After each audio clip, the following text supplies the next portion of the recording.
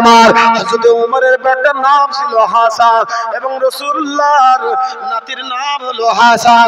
ও বাবাজি, কথাই কথা বেড়ে যায়। এই হাসান আর ওহি হাসান হচ্ছে সমবয়স্ক। আজকে যেমন আপনারা অনেকে আমার সমবয়স্ক আছেন, কেউ আমার থেকে বড় আছেন, কেউ আমার থেকে ছোট আছেন, কেউ বন্ধু বান্ধবের মতন আছে। ও বাবাজি, উমরের বেটা আর আলীর বেটা হচ্ছে দুই বন্ধু। একসঙ্গে খেলা করতেন। খেলাধুলা করতেন এক সমবয়স্ক। খেলতে খেলতে খেলতে খেলতে ছোট ছোট বাচ্চাদের ঝগড়া হয় না, অশান্তি হয় না গন্ডগোল হয়, মারামারি হয়, কান্নাকাটি হয়। এইরকম পরিস্থিতির মধ্যে দিয়ে হজরত ইমাম হাসান, অতএব হজরত উমরের বেটা চট করে রসুলের নাতের গায়ে ঠেলা মেরেছে। ঠেলা মেরেছে। আর ঠেলা মারার সাথে সাথে হজরত ইমাম হাসান অতএব আলীর বেটা রসুলের নাতির রাগ হয়ে গিয়েছে। এই তুই আমাকে ঠেলা মারলি? ওই গোলামের বাচ্চা গোলাম। দেখেছেন কত বড় কথা? গোলামের বাচ্চা গোলাম, তুই আমাকে ঠেলা মারলি? একটা গালি দিয়ে ফেললেন। ভয়ঙ্কর কথা বলে রাপ ইউজ করে ফেললেন। জি জি এখন তিনি ছিলেন অর্ধ জাহানের খালিফা উমরের বেটা। অবাক।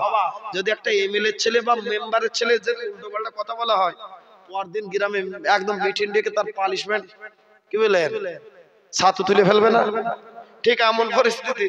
এখন তিনি তো অর্ধ জাহানের খালিফা মদিনার মসজিদের মেম্বার, ইমাম। আর তিনারকে বলেছে গোলামের বাচ্চা গোলাম। এর মনটা খারাপ, আমার বাপ হচ্ছে বাদশাহ। আর বাদশাহ আমাকে উল্টো পাল্টা বলে। জি, মনটা খারাপ করে চোখ মুখে পানি ভরা নিয়ে বাপের কাছে ফিরে এসেছে। আব্বা, কি হয়েছে? আপনি সঠিক বিচার করেন। আমরা শুনেছি এবং দেখেছি অথবা আজকে আমার জন্য একটা সঠিক বিচার করে দিতে হবে। কি বিচার বাবা? বলে আজকে রসুলের নাতি ইমাম হাসান আমার গোলামের বাচ্চা গোলাম বলেছে।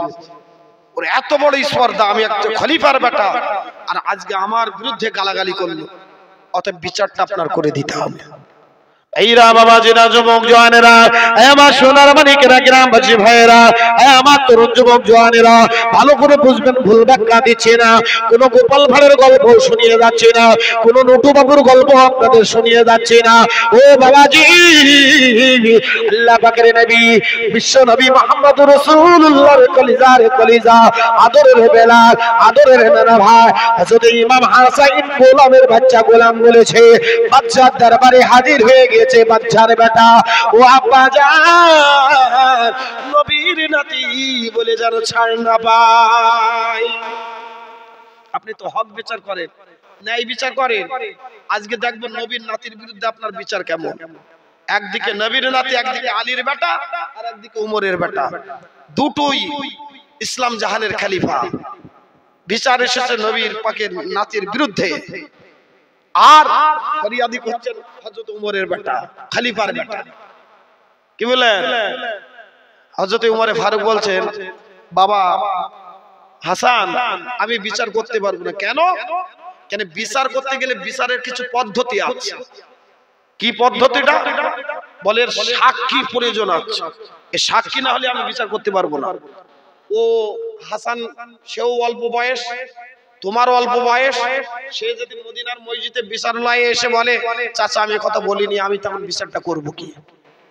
অতএব বিচার তোমাকে যদি পেতে হয়, তোমার সাক্ষী আনতে হবে। এখন দুজনাই খেলা করছিল তো। বাগানে ঠেলাঠালি করতে গিয়ে, হুড়োহুড়ি করতে গিয়ে কেউ ছিল না। এখন হাসান বলছে, না না, আব্বা যান, আমার তো কোনো ওই সাক্ষী নেই। তাহলে তাহলে আমার কাছেও বিচার নেই। আমার কাছে সঠিক বিচার নিতে হলে সাক্ষী নিয়ে আসতে হবে। তারপরে সে উমরের বেটা হোক, আলীর বেটা হোক, আবু বাক্কারের বেটা হোক, রসুলের নাতি হোক, আমার শরিয়াতের সরল, সঠিক বিচারটা তার উপরে প্রয়োগ হবে। আমার কাছে বিচার নিতে গেলে সাক্ষী নিয়ে আসতে। লাভবাজার সাক্ষী আনলে বিচার করে দেবেন তো, বলে হ্যাঁ। হযরত ইমাম হাসান এবার এই ওমরের বাটে হাসান ছুটা শুরু করেছে। একটা খাতার পেন নিয়ে, কলম নিয়ে, ছোট ওই এখন হাসানের বাড়ি, ফাতেমার বাড়িতে গিয়েছে। গিয়ে দেখে ওখানে ইমাম হাসান এবং হোসেন দুই ভাই খেলা করছে। আর ওখানে সঙ্গে সঙ্গে ওই হাসানে হাসানকে দেখি বলছে, তোরা হয় না আমাদের শিল্পীর কোনো যখন গন্ডগোল করে তোর লজ্জা হয়নি, তুই আবার এসেছিস? হ্যাঁ। তা বলছে, এই সেটা কি হবে? তোর যদি এত সৎ সাহস থেকে থাকে, তোর যদি এতই সস্তা থেকে থাকে, তুই যে কথাটা ওখানে বলেছিলি, সেই কথাটা কাগজে লিখে দিবি কি বলেন চালাকির উপরে চালাকি যে কথাটা ওখানে বলেছিলি সেই কাগজ। তা বলছে কেন তুই কি করবি? বিচার করে নিবি? লিয়া কাগজ লিয়া। গরমের ব্যাপার তো। কেউ তো বিচারছে না। লিয়া কাগজ লিয়া। এখন বলছে তুই গুলাম তোর বাপ গুলাম তোর চোদ্দ গোষ্ঠী গুলাম সব লিখেছে। কি বলে? তুই গুলাম তোর বাপ গুলাম তোর চোদ্দ গোষ্ঠী গুলাম আবার ইতিহাসান আবার সাইন করে দিয়েছে। কি বলে? যা বিচার করে লিখে। ছোট বাচ্চা তো, অল্প বয়স। এখন এ মনে মনে আনন্দে আমার বাপ বলেছে, আমার বাপ খলিফা, যে সাক্ষী বালি বিচার করে দেবে। এখন কাগজে লিখে দিত তুই গুলাম, তোর বাপ গুলাম, তোর চোদ্দ গোষ্ঠী গুলাম। দেখি আমার বাপ কি বিচার করে। ছুটে ছুটে এবার বাপের কাছে দিস কাগজটা খলিফার বেটা, হযরত উমরের ছেলে গিয়ে বলছে, আব্বা, জান, এই থাকে হ্যাঁ সত্যি লিখা আছে, তুই গুলাম, তোর বাপ গুলাম, তোর চোদ্দ গোষ্ঠী গুলাম ইতিহাসান জি, মনটা ছোট করে নিলেন কে? খালিফার বেটা হযরত উমার। মনটা ছোট হয়ে গেল। জি এবার আগামীকাল বিচার মন্ত্রণালয় মদিনার মসজিদে বিচার ডেকে দিন কার বিরুদ্ধে বিচার? রসুলের নাতে হযরত ইমাম হাসানের বিরুদ্ধে বিচার। ফরিয়াদি কি করছে? ওমরের বেটা হযরত হাসান করেছে।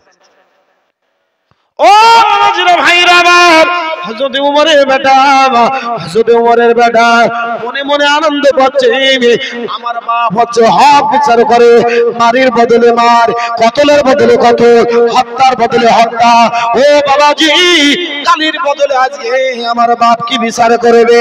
এই নোংরা কথার বিরুদ্ধে কি বিচার করবে? ছোট বাচ্চারা মনে আনন্দ হয়। বাবাজি, পরদিন জহরের নামাজ ভাই এবার বিচার হবে। কার বিচার হবে?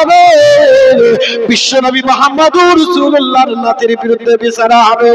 মানুষকে কি ডাকতে হয়? এখন হুজুরের বিরুদ্ধে যদি বিচার হয়, মানুষ ডাকা লাগবে, গ্রামের মানুষ? বলে হুজুর খ্যামটা নিচ্ছে।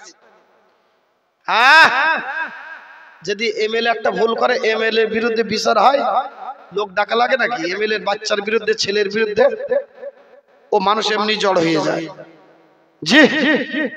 এবার হজরতে আলী বিচার দেখার জন্য, বেটার বিচার দেখার জন্য গোটা মদিনার বেটা ছেলে, মেয়ে ছেলে সব মদিনার মসজিদের চতুর্দিক থেকে হুড়ো মারছে। আল্লাহ একবার না জানি উমরের বিচারটা তো হক বিচার। কি কঠিন বিচার করে দেয় রসুলের নাতির বিরুদ্ধে। এই চিন্তা ভাবনা সবারই মনে। হজরত আলীও কিন্তু সেখানে উপস্থিত, নিজের বেটার বিরুদ্ধে বিচার। একবারও গিয়ে গোপনে গিয়ে বলছে না, ভাই, আপনি খলিফা যা হবার হয়ে গেছেন আপোষে মীমাংসা করা যায়? কিন্তু করে না মীমাংসা করা যায়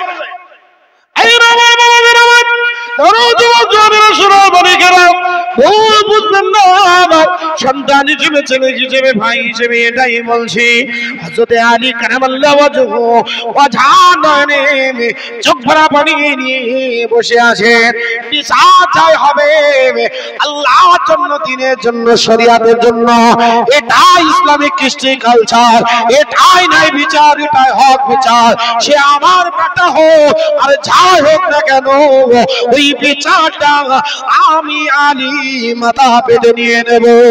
না বাবাজি, খালিফা বসে আছে, চেয়ারে বিচার হবে। জহরের নামাজ হয়ে গেল। হজরতে আলীর বাড়িতে পাঠিয়ে হলো। যাও নিয়ে এসো। হজরতে হাসানকে নিয়ে এসো। ও বাবাজি, হাসানকে নিতে এসেছে। চলো হাসান মেদিনার মসজিদে চলো। তোমার বিরুদ্ধে বিচার বসেছে। খালিফা তোমাকে যেতে বলেছে। হজরতে হাসান আর দ্বিতীয় কোনো কথা বলে সকাল চলে আসছে মদিনার মসজিদে মদিনার মসজিদে আসছেন ঠিক আমি যেভাবে বসে আছি, আর মসজিদের মুখের গেটটা সামনের দিকে হাসান আসছে। সমস্ত মদিনা বসে হাসানের মুখ পানে চেয়েছে। হজরতে ওমার হাসানের মুখ পানে চেয়ে আছে। ও বাবাজি, যেই না মদিনার মসজিদের গেটে ঢুকেছে হজরতে ওমার পারো। নিজের চেয়ার ছেড়ে বিচারের জায়গা ছেড়ে উঠে দাঁড়িয়ে ছুটে গেটের সামনে গিয়ে হজরতে ওমারে ভারো, তিনি খালি পাবে হাসানকে সালাম দিলে। জোরে বলেন, একজন বাদশাহ মানুষ, খালিফা মানুষ, ছোট বাচ্চাকে সালাম দিচ্ছেন। আসসালামু আলাইকুম। হযরত হোসেন সালামের জবাব দিন ওয়া জবাব হয়ে গেল, মুস্তফা হয়ে গেল, ও নানা ভাই, এসো এসো। এবার ধরে টেনে টেনে টেনে টেনে মসজিদে যে যে সিংহাসনে বসে যে চেয়ারে বসে, সেই চেয়ারের বলেছিল, এই আদরের বেলাল হাসান, আপনি আজকে আমার বিচারকের চেয়ারে বসে যান। এই জোরে বলা যায় না। অভাব, যার বিরুদ্ধে বিচার ডেকেছে, যার বিরুদ্ধে বিচার ডেকেছে, তাকে বিচারের চেয়ারে বসানো হচ্ছে। বিচার কিরম হবে বুঝতে পেরে গেছে মানুষ? যে বিচার যা হবে এবার বোঝা গেল। আর যার বিরুদ্ধে বিচার, তার কি চেয়ারে বসাচ্ছে খলিফা? এ কি অসম্ভব ব্যাপার? ও বাবাজিরা, ভাইরা আমার, হযরত ওমরের ভারো আর কোনো কথা না বলে বললেন, ও নানা ভাই, আপনাকে আমার চেয়ারে বসতে হবে, কিন্তু আদব আছে হযরত হাসানের। না, নানা ভাই, এটা সম্ভব নয়, কখনোই সম্ভব নয়। আপনি হচ্ছেন রাষ্ট্রনায়ক, আপনি হচ্ছেন অর্ধ জাহানের খলিফা, আপনি হচ্ছেন মদিনার মসজিদের ইম- অতএব আপনার ওই চেয়ারটা আপনার যোগ্য। ওই আমার যোগ্য নয়। না না না, ভাই। যদি আপনার বিচার করি, যদি আপনি আমার বিচার মেনে নেন, আমার চেয়ারে আপনাকে বসতে হবে। তারপরে আমি বিচার করব। আর যদি না বসেন, আমি বিচার করব না। হযরত ইমাম হাসান পিড়া পিড়িতে বসে নিজে এগিয়ে আস্তে বসে গেলেন আর উমরের পেট ওজন কেঁদে চলেছে। আহারে, আমি আমার বাপের কাছে ন্যায় বিচার চেয়েছিলাম, সত্য বিচার চেয়েছিলাম, হক বিচার চেয়েছিলাম। আর আমার বাপ কিনা? আমার শত্রুকে নিজের চেয়ার ছেড়ে দিয়ে বলছেন, তুমি না বসলে আমি তোমার বিচার করব না। ও বাবাজি, আমার শত্রু সেই চেয়ারে বসে গিয়েছে। এবার মন কষে কষে হজরতে হাসানে ও বাবাজি, চেয়ারে নাই যেই বসে গিয়েছে। আস্তে আস্তে আদবের সঙ্গে সামনে বসে কাগজটা বের করে বলেছিল, নানা ভাই, এই কাগজটা কি আপনি লিখেছেন? এই কাগজের লেখাটা কি আপনার? ওই সময় হাসান চেয়ারে বসে বসে বলেছিল হ্যাঁ নানা ভাই হ্যাঁ নানা ভাই, এ হাতের লেখা আমার, আমি লিখেছি, তুমি গোলাম তোর বাপ গোলাম তোর চোদ্দ গোষ্ঠী গোলাম ইতিহাস এ শাহিন আমার, এ সিগনেচার আমার, তুমি গোলাম, তোমার বাপ গোলাম, তোমার বেটা গোলাম, তোমার চোদ্দ গোষ্ঠী গোলাম এখনও মদিনার মসজিদে বসে বলছি। এখনও বলছি তুমি গোলাম তোমার বাপ গোলাম তোমার চোদ্দ গোষ্ঠী গোলাম। চোখে চোখ রেখে আঙুলে আঙুল দিয়ে কথা বলছি হযরত ইমাম হাসান পরেশান হয়ে যাচ্ছে। এই হযরত উমরে ফারুক পরেশান হয়ে যাচ্ছেন আল্লাহ। তুমি লিখেছো তো? বলে, হ্যাঁ আমি লিখেছি। হযরত ইমাম হাসানকে ডেকে নিলেন অতএব নিজের বেটাকে ডেকে দিলেন। আয় বেটা আয়। দুইজনের হাতটা মিলিয়ে দিলেন। দুই ভাইয়ের হাতটা বন্ধু বান্ধবের হাতটা মিলিয়ে দিলেন যারা মারামারি করছিল। করে গোটা মদিনা সাহাবার চিন্তা করছে কি বিচার হবে? গোটা মদিনাবাসীকে এবার ওই কাগজটা রেখে দিই এ মদিনাবাসীরা আমি উমারে ফারুক। আমি কি নাজাত পাবো কি জানি না। আমি উমরে ফারুক। কোন আমল দেখাতে পারব কি জানি না। আমি উমরে ফারুক। কোন ইবাদত দেখাতে পারব কি জানি না।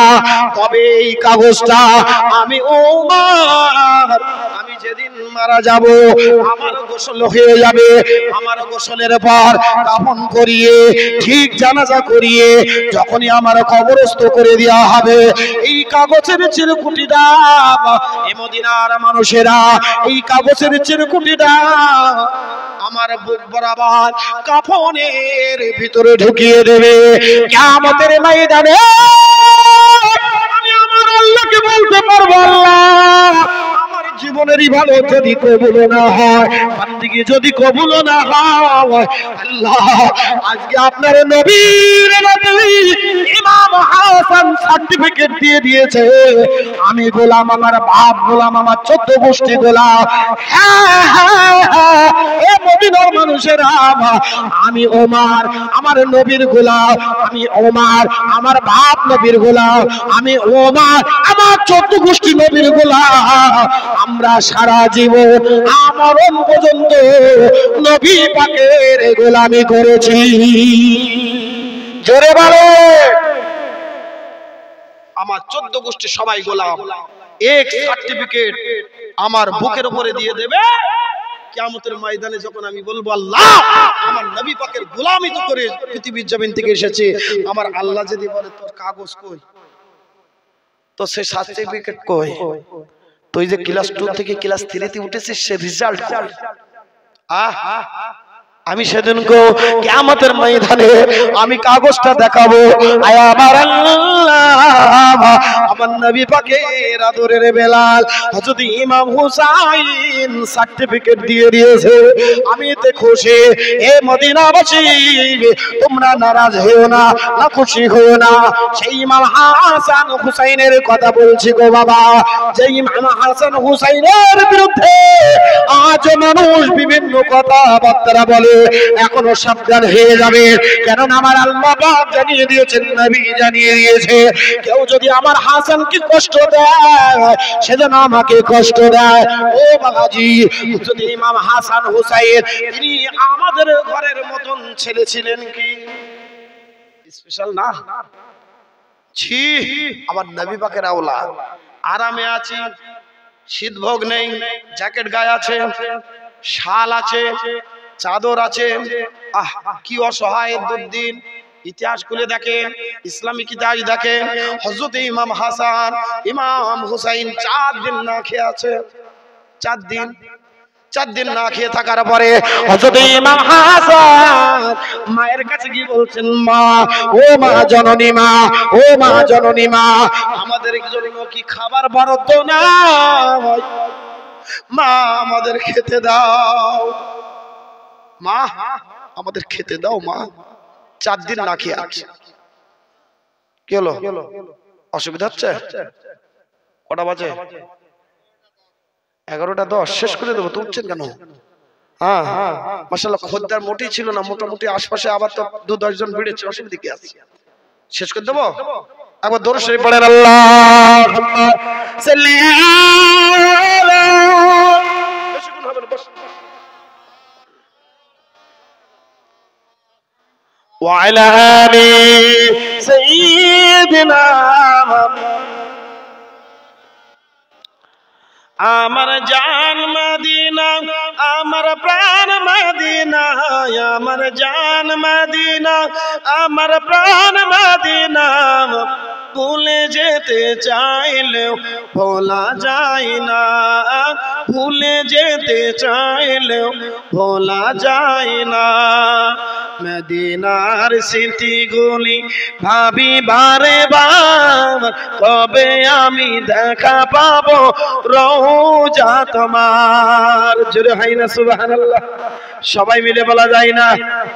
মদিনার স্মৃতিগুলি ভাবি বারে বার কবে আমি দেখা পাবো? রোজা তোমার। প্রিয় নবীর প্রেমে আমি হলাম দেওয়ানা আমার জান মদিনা আমার প্রাণ মদিনা ভুলে যেতে চাইলেও ভোলা যায় না। মদিনা জান, মদিনা মদিনা প্রাণ, মদিনা মদিনা জান, মদিনা মদিনা প্রাণ, মদিনা। ভুলে যেতে চাইলেও ভোলা যায় না।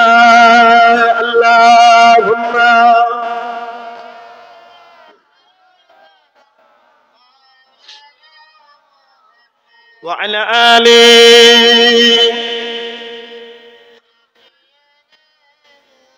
জানি না ওই মদিনায় কি আছে মধু মদিনা মদিনা শুধু করেছে জাদু জোরে হয় না একটু সবাই মিলে বলা যায় না জানি না ওই মদিনায় কি আছে মধু মদিনা মদিনা শুধু করেছে জাদু। প্রিয় রব্র প্রেম আমি হলাম দেওয়ানায়। আমার জান মদিনা আমার প্রাণ মদিনা ভুলে যেতে চাইলেও ভোলা যায় না। মদিনা জান মদিনা মদিনা প্রাণ, মদিনা মদিনা জান মদিনা মদিনা প্রাণ, মদিনা। ভুলে যেতে চাইলেও ভোলা যায় না। আল্লাহুম্মা সাল্লি আলা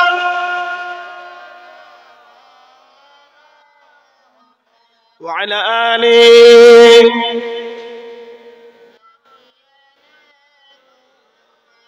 সোনার মানিকেরা গ্রামবাসী ভাইয়েরা, তরুণ যুবক জওয়ানেরা, আয় আমার কচি কচি মাছুম বাচ্চারা শেষ করে দেবো, শেষ করার আগে যে নসিহতটাই বলছিলাম, খুব সংক্ষেপে আপনাদের সামনে, বেশি বিরক্ত করব না।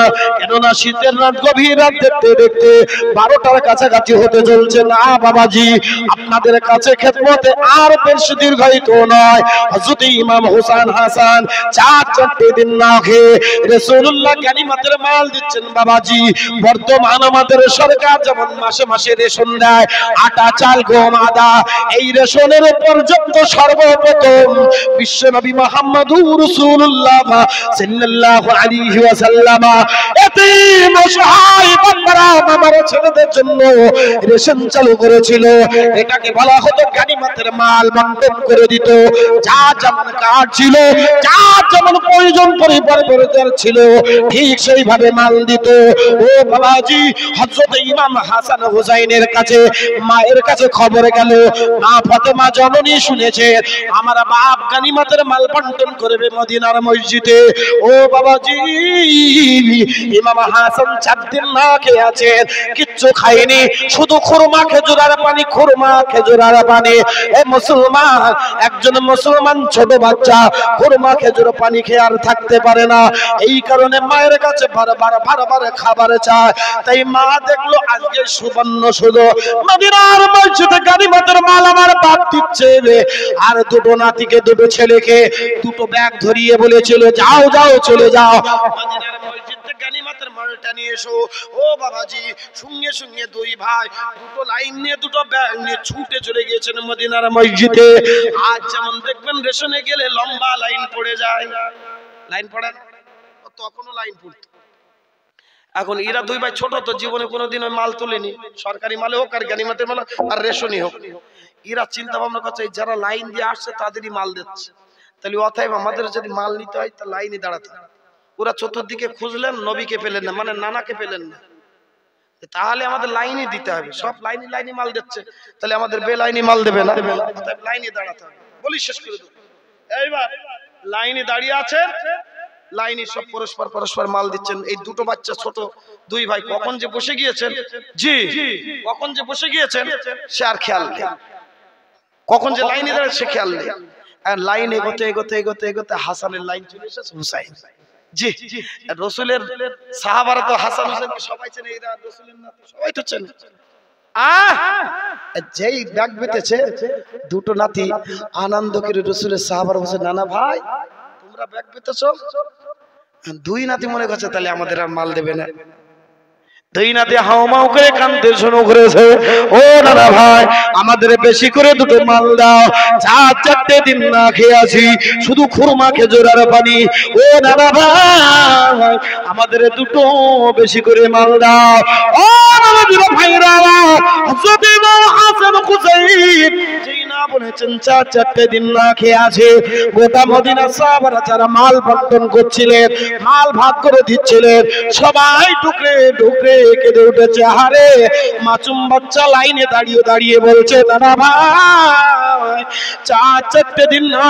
শুধু খুরমা পানি। আমাদের দুটো বেশি করে মাল দাও।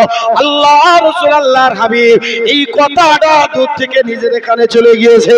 রসুল আমার তাকিয়ে দেখে ইমাম হাসান হুসাইন ব্যাগ পেতে দিয়েছে। আল্লাহ রসুল পাঁচ পাখির মতন ছুটে চিলের মতন উড়ে দুটো নদীকে মানা করে দিলেন। এমদিনার সাবারা খবরদার খবরদার, ইমাম হাসানকে মাল দেবে না ইমাম হুসাইনকে মাল দেবে না। দুই ভাই আশ্চর্য হয়ে গেলে নিজের নানা হয়ে এত বড় শত্রু হতে পারে। কেন আমাদের মাল দেবে না? কেন আমাদের মাল দেবে না? দুই ভাই ছুটে গিয়ে নানাকে জড়িয়ে ধরেছে। নানা ভাই চার চারটে দিন না খেয়ে আছি। নানা ভাই, দুটো মাল দেয় দুটো মাল দেয় ও নানা ভাই, বেশি দিতে হবে না। এক দুটো করে দুই ভারে মাল দেন, চার দিন না খেয়ে আছি। আল্লাহ রসুল তাদের দুটো নাতিকে নিজের বুকের মধ্যে জড়িয়ে নিয়ে আল্লাহ রসুল কপালে চুমা খাচ্ছে ইমাম হাসানের, ইমাম হুসাইনের। দুই ভাইকে দুটো চুমা খেয়ে বলেছিল, নানা ভাই, এই মালটা তোমাদের দেয়া যাবে না। ও নানা ভাই, এই মালটা ঠিক তোমরা ছোট্ট বাচ্চা তোমার জন্য যেমনই হারা আমি মোহাম্মদ রসুল্লাহ ঠিক ততরবে আমার জন্য হারা ও ভাই। আমি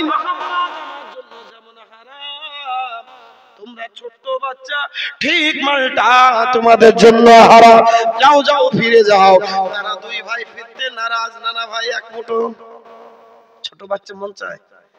দাও করে দাও। ব্যাগ বারবার। আল্লাহ রসুল কানে কানে দুই নাতিকে বলছেন, যাও, তোমাদের জন্য আজকে আমি মোহাম্মদ খাবার নিয়ে যাব। খুশি হয়ে চলে যাচ্ছেন প্যাকেট খালি প্যাকেট, ছুটে ছুটে বাড়ি। মা বলছে, খালি প্যাকেট কেন রে? বলে হ্যাঁ লাইনে দাঁড়িয়েছিলাম, তো কি হলো? বলে, মাল দিচ্ছিল সাহাবারা, কিন্তু নানা ছুটে এসে বললেন, না, মাল দিস না। ফাতেমার রাগ হবে না হবে না। যে, আমার ছোট বাচ্চা দুটো পেয়েছি আর বাচ্চা দুটোর মাল দেয়নি, আবার বাবাকে নিষ্ঠুর। ও বাবাজিরা ভাইরা আমার, শেষ করে দেব। শেষ করার আগে এটাই বলতে চাইছি বাবাজি, আল্লাহ রসুলের নাতি মায়ের কাছে বলছেন, মা, মাল দিচ্ছিল ও নানা ভাই দেয়নি। নানা ভাই জানিয়ে দিয়েছে, ওই মালটা নাকি আমাদের খাওয়া যাবে না। ও নানা ভাই, ও ও আমার বেটা, তোমরা তোমাদের নানা ভাইকে কি বলনি? তোমরা চার দিন না খেয়ে আছো? হ্যাঁ বলেছিলাম, এটা শোনার পরেও কি মাল দেয়নি, না দেয়নি? এমনি করে বাপের ওপরে রাগম্বিত হয়ে গেলে আমার নবী পাকের ওপরে একটু রাগ হলো মেয়ের। অতএব ফতেমার রাগ হয়ে গেল। হাসান খেলতে খেলতে বলেছিল, নানা ভাই, ও আম্মা জান, আমাদের খাবার দাও। আর আম্মা আলতো করে একটা চড় মেরেছিল। বাপ চার, চারটে দিন আজকে কাজে বেরিয়েছে, কোনো কাজ পাইনি, কোনো খাবার পাইনি, কোনো খাদ্য খোয়া জোগাড় করতে পারিনি। কি করে আমাদের, আমি তোদের খেতে দেবো? না না না না না। আমার কাছে কোনো তোদের খাবার নাই। ও ভাইরা আমার, মায়ের কাছে খাবার চাইছে মা আলতো করে একটু ফুলো চড় মেরেছে। দুই ভাই কান্দে কান্দে ঘর থেকে বেরিয়ে বলেছিল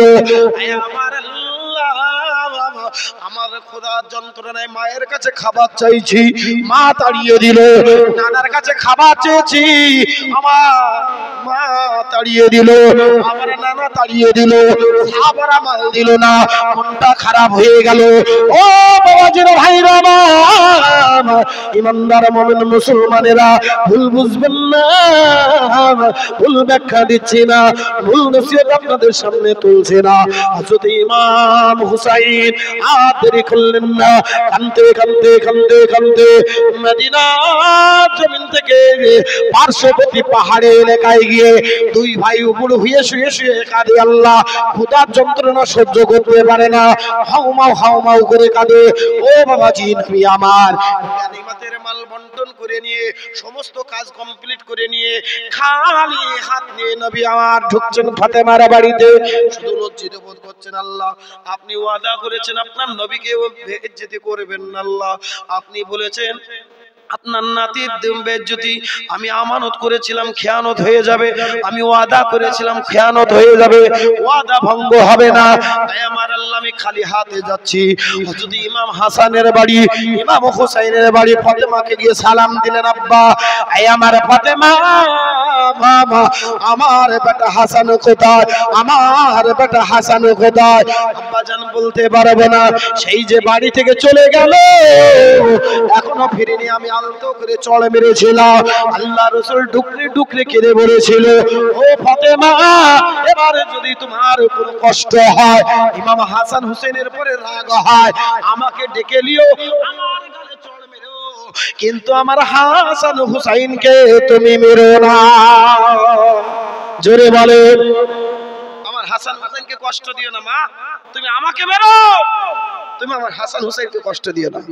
নবী আমার কাজ জেনহা কোথায় গেল? শেষ করে দিচ্ছি। গোটা এলাকা খুঁজছে। আর নবী যখন পাগলের মতন খুঁজছে সাহাবারা নবীর পেছনে পেছনে খুঁজছে। গোটা মদিনার জমিন খোঁজা শেষ ঝোড় জঙ্গল, খাল, বিল, নদী, নালা খোঁজা শেষ, পাহাড় পর্বত, তরুলতা, গাছপালা খুঁজছে। কিন্তু কোথায় খুঁজে পাচ্ছেন না। ও বাবাজি, খুঁজে খুঁজে খুঁজে খুঁজে।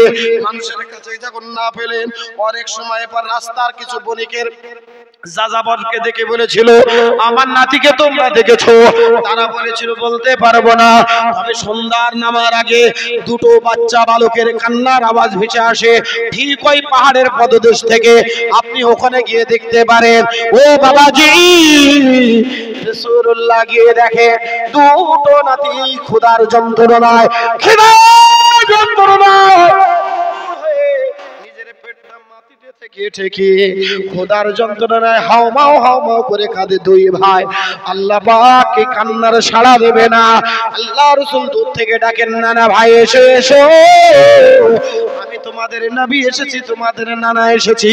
ছুটে দুই ভাই চলে এসেছে। ও নানা ভাই, আপনি বলেছিলেন, আপনি আমাদের জন্য খাবার আনবেন, এনেছেন। নবী তো খালি হাতে গিয়েছেন। এবার ছোটরা বলছে, বড় ভাই, তোমার কি বুদ্ধি নাই? না না ভাই আমাদের বাড়িতে এসেছিল। বাড়িতে গিয়ে আমাদের পাইনি, খাবার বাড়িতে রেখে আমাদের খুঁজতে এসেছে। চলো চলো, বাড়িতে চলো। আল্লাহ রসুল দুটো নাতিকে দুই কাঁধে তুলে নিলেন। কখনো কোলে নিচ্ছেন, কখনো কাঁধে নিচ্ছেন, কখনো পিঠে নিচ্ছেন। এবার আস্তে আস্তে আস্তে আস্তে আস্তে ঠিক নিজের বাড়ির কাছাকাছি এসেছেন। ওই সময় আল্লাহকে আল্লাহর থেকে সাক্ষী রেখে বলছেন, আল্লাহ, আপনি সাক্ষী থাকুন। আপনি যেন আমাকে বেজ্জতি করবে না। কিন্তু আমি তো ঘরে খাবার রাখিনি। এরা দুই ভাই গিয়ে খাবার চাইবে মায়ের কাছে। আল্লাহ, আমি নবী পাক তো বেজ্জতি হয়ে যাব আল্লাহ আপনি কি আপনার নবীকে বেজ্জতি করবেন? ও আমাদের ভাইরা হযরত ইমাম হুসাইন হুসাইন বাড়ি দরজার সামনে যেই না এসে, মা মা মা ও মা জননী, মা বলে চিল্লেছে, যেই না আওয়াজ দিলেছে, দূর থেকে ফতেমা ছুটে এসে বলেছিল, আব্বা জান আপনি চলে যাবার পরে কে যেন একজন খানজা করে এক খানজা খাবার আমার বাড়িতে দিয়ে দিয়েছে। আরও জোরে বলে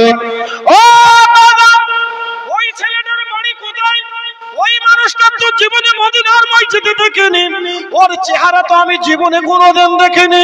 কোন দেশে বাড়ি, কোথায় বাড়ি, কোথা থেকে এসেছে?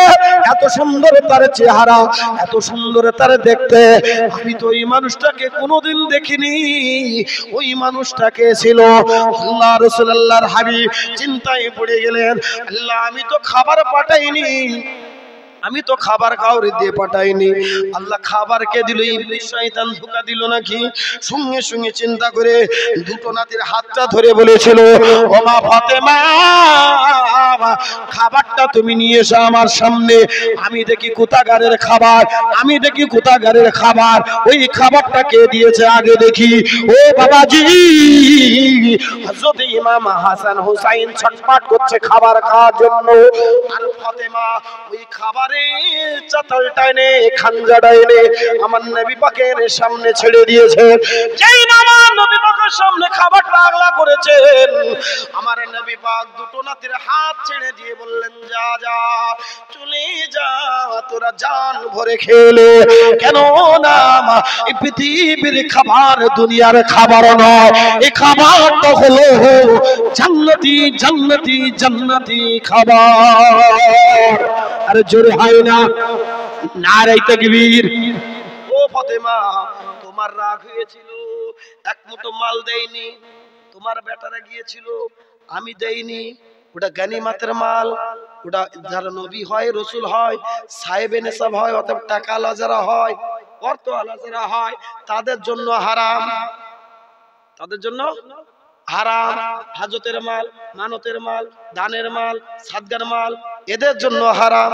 এ মুরসুল্লি, আল্লাহ তোমাকে জাকাত দেওয়ার সুযোগ করে দিয়েছে, ফিতরা দেওয়ার সুযোগ করে দিয়েছে। আর তুমি মসজিদে শুক্রবারে বাতাসা নিয়ে গন্ডগোল করো। বলছে, গত শুক্রবার পাইনি। কি লস হয়েছে। ভেঙে ফেলছে ইমাম সাহেব। এই ইমাম সাহেব, এই গত শুক্রবারও পাইনি শুক্রবারও পাইনি। ইমাম সাহেব রাগরি বলছে তো আমি কি করব? আমার তো নামাজ পড়ানোর জন্য রাখছিস। তোর কি বাতাসা বিলো না জিলু বিলো কি মুড়ি বিলো? হ্যাঁ ভণ্ডামি জায়গা পাওনি। এখন সে তো পাঁচ অক্টোবর চললি তার পেছনে এখন গ্রামবাসী। এই জানিস ইমামের পেছনে নামাজ হবে না ফতোয়া শুরু করেছে না জানেন ভণ্ডামি শেষ আছে? ওরে বাতাসা পাইনি নামাজ হবে না। এর আমার কাছে ফোন হুজুর এই কি সর্বনাশ বলেন আপনি ইমামতিটা ঠিক করে দিয়েছিলেন? সেই বাতাসা নিয়ে গন্ডগোল হয়ে বাস্তব কথা বলছি, কোনো হাসি দিচ্ছি না কি হয়েছে বাপ? সে বলবেন না, সেই সেই শুক্রবার বাতাসা জিলিপি মুড়ি টুড়ি দেয় তো থাকে। এখন সেই হাজি সাহেব মানুষ, সে ফাঁস কাতারের মানুষ তো। হ্যাঁ এখন পেছনে সব কচি কাচারা আসে, শুক্রবার জুম্মায় আসে, তাদের দু পিস সার্ভিস দিতে দিতে ফিরে এখন সে ফাঁস কাতা পর্যন্ত পৌঁছায়? এখন এ হাজি সাহেব গত শুক্রবারেও পাইনি, এ শুক্রবারেও পাইনি। এখন বলছে আমার পেছনে নামাজ হবে না। তো হুজুর কি আমার এই চাকরিটাই নষ্ট হয়ে হাও মা করে গরিবের ছেলে। দুঃখ করছে। আর ঠিক আছে। আর আল্লাহর কি রহমত, তার পরের দিন একটা ওখানে খাস মিলাদ। ছোটখাটো একটা বাড়ির মাহফিল। গিয়েছে। হাজি সাহেবকে পাশে বসে বসে ওয়াজ করছে। ওয়াজ করে হাজি খানায় খাবার কেমন ঘুরলেন? ও আল্লাহু খানায় খাবার গিলাম দিয়ে ভেঙে ফেলেছে। কি বলেন? পরে খবর নিয়ে দেখছি, ওর বোনের হকগুলো সব নষ্ট করেছে সাত লাখ টাকা সম্পদ, পঞ্চাশ হাজার দিবি দিয়ে নাহলে কিছুই পাবি নি। লেখ ও খানায় খাবার গিলাস দিয়ে ভেঙে ফেলছে। আচ্ছা মুসলমান আছে। ও হাজি সাহেব! আল্লাহ পাক রব্বুল আলামিন যে মালটা তোমার জন্য খারাপ করেছেন, তুমি তো খানায় খাবার মেহমান, তুমি তো সাহেবে জাকাতটা তোমার জন্য ওই হাজতের মাল, মানতের মাল, দানের মাল, সাদগার মাল, কে কে নিয়েতে পাঁচশো, এক কিলো, দু কিলো, পাঁচশো, পাঁচ গ্রাম, দশ গ্রাম, কখনো দু পিস কখনো তিন পিস কখনো চার পিস এর উপরে পাতসা তুমি পাও না? হাজি সাহেব তালি আজকে যদি তোমার জন্য ওই ছোট্ট বাচ্চা ইমাম হাসানের জন্য যদি ওই হাজতের মালটা ওই গানিমাতের মালটা যদি হয়, তুমি তো খানায় খাবার মেহমান, তোমার জন্য কি করে হালাল হলো? হাজি সাহেব, ওটা যেমন তোমার জন্য হারাম পুতার জন্যও হারাম। সঙ্গে সঙ্গে এবার ব্যাগ মেরে দিচ্ছে। হুজুরের মতন ঘুরনো ফিরনো কল আছে বলে কি ঘুরনো ফিরনো কল আছে? বলে ওটা পশ্চিম দিক, বলে ঘুরনো ফিরনো কল আছে। মানে কি ঘুরনো ফিরনো আছে? আমি খাব না। ঝামেলা করে বাড়ি গেলে ওদের একটু দিতে হয়। তাহলে ইমাম চাইছিল না, তোমার ছেলের ছেলের জন্য সেটা চাইছিল কি করে? তুমি তো খবরদার, তাই হাতে ধরে, পায়ে ধরে শেষ কথা দাও এটা আপনাদের শীতের মধ্যে। আপনাদের সন্তান হিসেবে, ছেলে হিসেবে বলে যাচ্ছি।